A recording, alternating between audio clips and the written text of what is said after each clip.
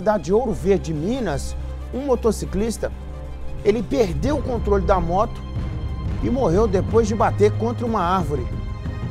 O acidente foi registrado na noite dessa quarta-feira, é conhecido como ontem. Ô Fantoni, que tragédia, hein, rapaz? Nicomedes. E é outra situação também que é, segue um script também que a polícia sempre fala. Só para complementar aquela informação da, da, de ladainha, Nicomedes, só fazer uma proposição, depois você pensa sobre isso aí, a gente mudar. Em vez de certidão de casamento, colocar certificado de propriedade, porque o cidadão acha que a mulher é propriedade dele. Então tem que mudar o nome desse documento. Em vez de certidão de casamento, Vou colocar agora certificado de propriedade, alguma coisa assim, né? Alguma coisa desse domínio. Mas vamos lá. Vamos para Ouro Verde de Minas. Em Ouro Verde de Minas, na noite de ontem, o Lucas Alves de Oliveira, ele estava em um determinado ponto da cidade e resolveu ir embora. Ele pegou a motocicleta dele e saiu 150 metros depois do lugar onde é que ele estava.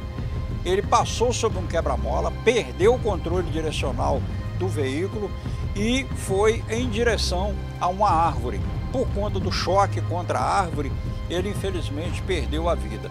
Há uma equipe de profissionais da saúde de Ouro Verde de Minas, médicos, enfermeiros, a médica e enfermeira chegaram, uma médica e enfermeira chegaram até o local para tentar socorrê-lo, mas infelizmente não foi possível salvar a vida dele, Nicomedes. E aí o que se pede é que as pessoas, a polícia não quer, as autoridades não querem privar ou impedir ninguém de se divertir ou de ter a sua vida normal, mas que leve em consideração o risco, o risco de, às vezes, é, fazer uso descontrolado de bebida alcoólica, dirigir com velocidade incompatível com a via. Para quem não conhece, as ruas centrais de Ouro Verde de Minas não é possível trafegar a mais de 40 km por hora com relação ao redutor de velocidade. Se ele está lá, é porque tem um objetivo, tem um alerta, atenção motorista, aqui tem que passar devagar. E aí infelizmente, às vezes as pessoas ignoram essas normas de segurança, se envolvem em acidente, perde a vida.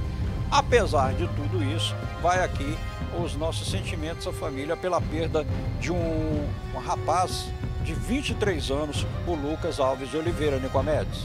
É, com toda uma vida pela frente, né, Fantônio? Que tristeza, né? Que tristeza. Obrigado, daqui a pouquinho você está de volta. Fantônio Peço e Vitor Cui, a dupla dinâmica do Jequitinhonha e do Mucuri.